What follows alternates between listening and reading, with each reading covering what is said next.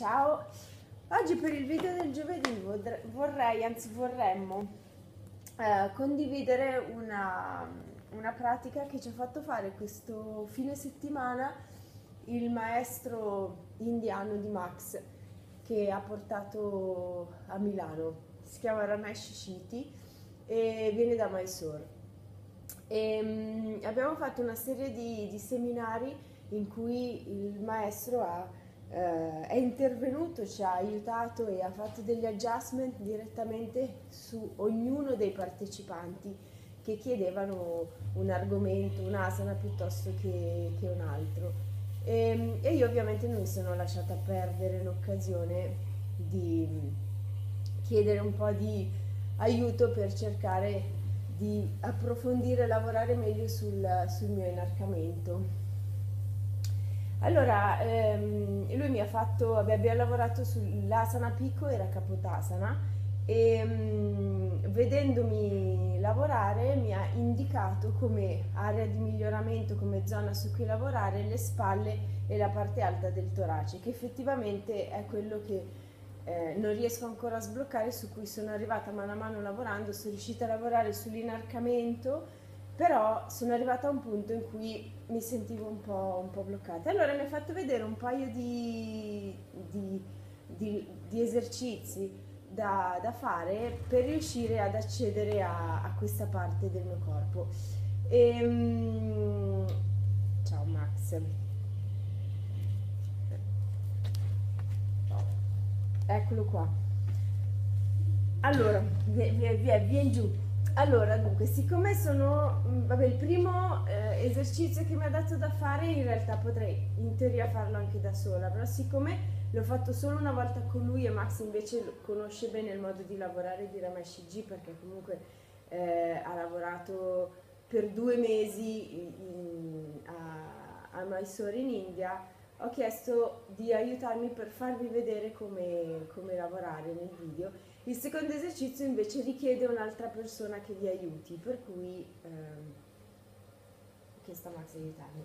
Allora, il primo esercizio richiede l'utilizzo di uno sgabello non troppo alto e se avete uno sgabello mm, magari di legna meglio metterci sopra qualcosa di morbido. Io ho questo qua delica con il cuscinone per cui userò questo. Um, allora, ci mettiamo con le gambe come per entrare in Ustrasana o in, in Kapotasana. Um, allora, io non mi sono ancora scaldata, però è importante quando si lavora su queste cose, in generale, come vi dico sempre, quando lavorate su, nello yoga, è importante scaldare bene il corpo, soprattutto se si lavora su punti sui quali magari abbiamo delle difficoltà particolari. Per cui io adesso non spingerò, vi faccio vedere l'esercizio ma non andrò in profondità perché non mi sono scaldata. Ehm, però voi non fate l'esercizio se non vi siete scaldati, quindi fate un po' di saluti al sole, fate, se avete una pratica che fate abitualmente fatela in modo da scaldare bene il vostro, il vostro corpo, altrimenti rischiate di farvi male seriamente. Allora, vado indietro.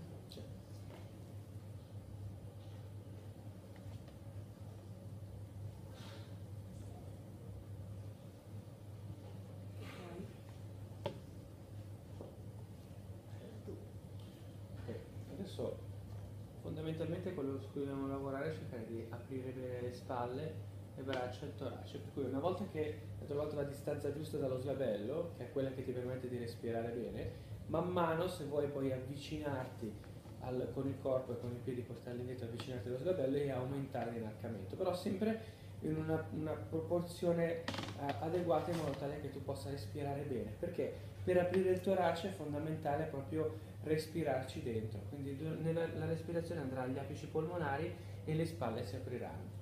Dopodiché quando vuoi aumentare il lavoro del, del, dello scioglimento delle spalle e dell'apertura del torace, porti le braccia indietro. In questo caso potresti avere o un altro sgabello o un appoggio, se hai una persona dietro, una, una sedia, una persona dietro puoi afferrare i, le, le, le tibie le caviglie e a questo punto l'azione che ha fatto adesso Silvia di chiudere i gomiti fa, la, la, fa lavorare sulla sullo scioglimento dell'articolazione scapolomerale. Perché naturalmente quando andiamo indietro con le braccia le, le mani tendono a unirsi, i gomiti tendono ad aprirsi. Questo non ci permette di appoggiare bene a terra i palmi delle mani, che è una cosa che abbiamo bisogno di fare in Capotasana per spingerci in avanti. Perché in Capotasana fondamentalmente le anche devono andare idealmente in, in verticale, in allineamento sulle ginocchia più andiamo indietro con le anche e meno abbiamo la possibilità di inarcarci e di camminare perché proprio andiamo indietro con la testa e con le braccia. Okay, quello che sta facendo lei adesso, siccome si sente, di, sente più comoda, sente di poter lavorare un pochettino più in profondità, è di spingere appunto in avanti le anche, quindi si è appoggiata, questo lo potete fare anche contro un muro, se avete la slavella e dietro avete una parete potete spingervi e man mano cercare di distendere le braccia, però sempre con un atteggiamento di attesa in modo tale che la posizione possa essere piacevole, perché altrimenti i muscoli si rigidiscono e, e si riesce a fare ben poco.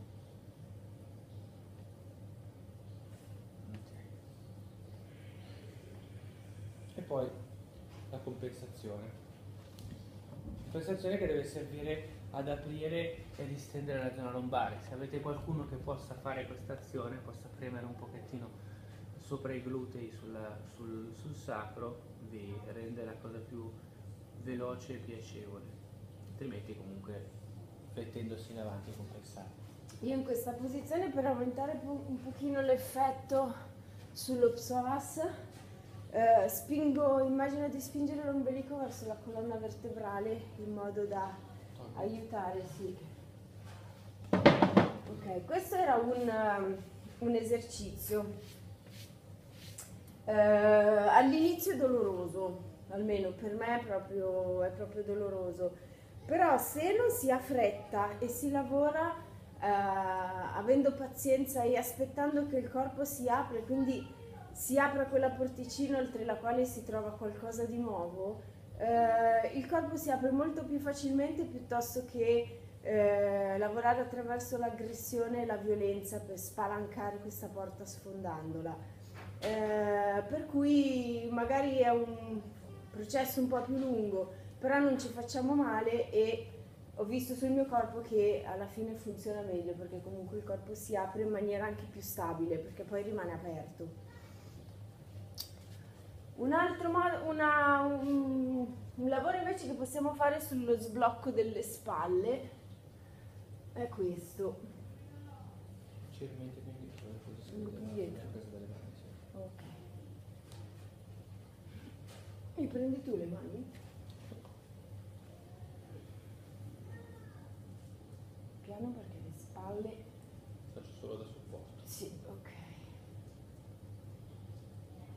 A questo punto lei si sta lasciando andare con il peso, parlo io così intanto respira profondamente e quando se la sente può stendere i gomiti e lasciar cadere proprio la testa e le spalle, il torace in basso. Questo eh, fa un'azione di apertura importante sul, sull'articolazione delle spalle perché proprio lascia mandare il peso del corpo e qua stiamo usando solo le dita delle mani che si aggrappano, ma in realtà la potrei anche solo tenere io, però diciamo che a un minimo di, di azione attiva da parte della persona che riceve l'aggiustamento è sempre meglio tenerla in modo tale da non essere proprio tirati, no? eh, non essere solo una, diciamo, un manichino ma fare un'azione anche sul proprio corpo, dà un pochettino più di controllo anche su, sul lavoro e sui suoi limiti, che chi tira dall'altra parte non è che possa avere così tanta sensibilità come la persona che lo riceve invece.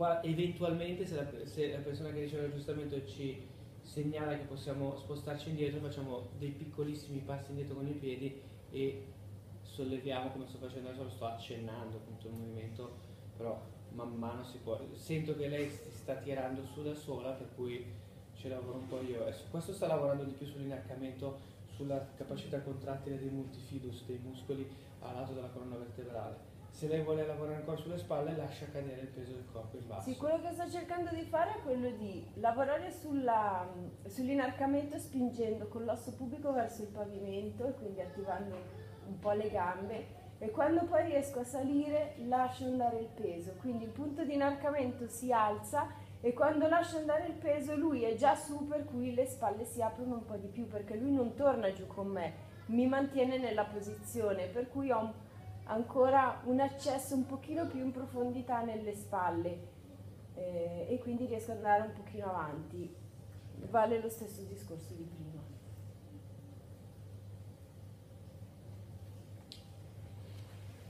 Penso un attimo.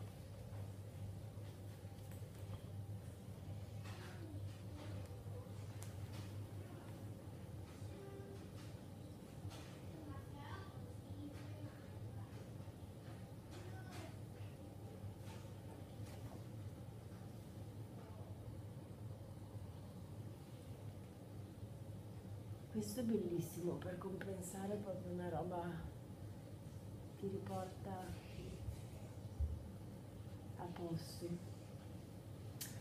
Ok, l'ultimo. Sì, I gomiti. I gomiti.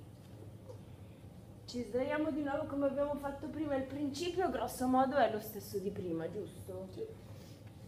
Solo che invece di stendere le braccia pieghiamo i gomiti, portiamo le mani indietro, uniamo i palmi e noi dobbiamo afferra- appoggiare le mani a cucchiaio sotto i gomiti, non vicino alle spalle perché sennò si tira la pelle e dà fastidio. Se lo mettiamo qua sui, sui gomiti, piano piano, piano piano alziamo e portiamo indietro. Possiamo anche appoggiare, adesso in questo momento ho appoggiato i gomiti sulle mie ginocchia, quindi praticamente potrei stare qua anche fino a Natale non faccio nessuna fatica. La, il, il lavoro a questo punto lo fa lei quando poi abbassa la testa lascia andare giù il peso e quindi apre l'articolazione delle spalle. Posso piano piano, come sto facendo dolcemente, raggiungere un limite. Facciamocelo dire dalla persona direttamente. Se sono arrivato, mettiamo, sono arrivato al limite in questo momento, non lo so, probabilmente ci sarebbe ancora dello spazio, però immaginiamo di essere arrivato al limite. Vado giù, espiriamo, inspirando solleviamo. Espiro, giù con la testa, inspiro, rimango giù con la testa e salgo con la, con la schiena. Espiro, inspiro, espiro, inspiro. Il mio atteggiamento in questa posizione è un atteggiamento in, di abbandono. Il lavoro lo sta facendo tutto lui. Io cerco di usare il peso della testa abbandonata in avanti per lasciare che si aprano le spalle, il torace e cerco di lasciare andare i muscoli in modo che non si mettano di traverso e non lavorino al contrario, quindi bloccando quello che sta facendo lui tirandomi su e giù.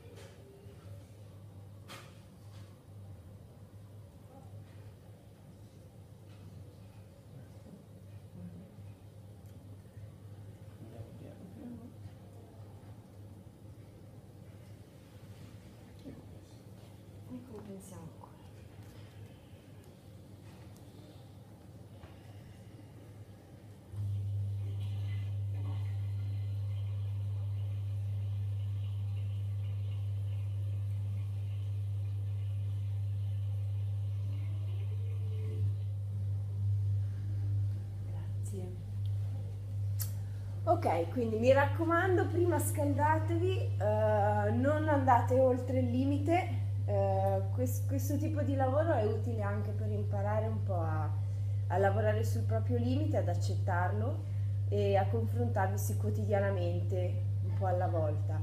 Uh, quante volte fare questa pratica se una persona vuole lavorare in maniera costante sul, su queste aperture? se, se, lo fa due o tre volte è più che sufficiente non, eh, e andare oltre vuol dire cercare di tirare mm. più, no, invece ha più, ha più, senso magari farlo per 3-4 giorni di seguito e poi riposarsi un po'. Lì anche il riposo è importante perché il corpo ha bisogno di tempo per uh, ripararsi, per, uh, per diciamo resettarsi sul nuovo equilibrio, perché ogni volta che apriamo una parte del nostro corpo es- non essendo una parte isolata, ma essendo il corpo un tutt'uno, tutto il resto ha bisogno di ri- riequilibrarsi rispetto alle nuove aperture, per cui uno o due giorni di riposo dopo, mm, dopo una pratica di 3-4 giorni è, è importante per poter recuperare.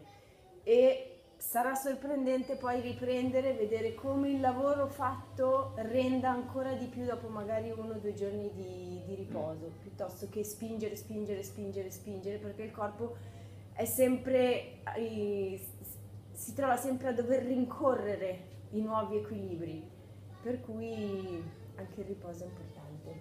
Mm. per il video del giovedì è tutto, ci vediamo settimana prossima. Ciao!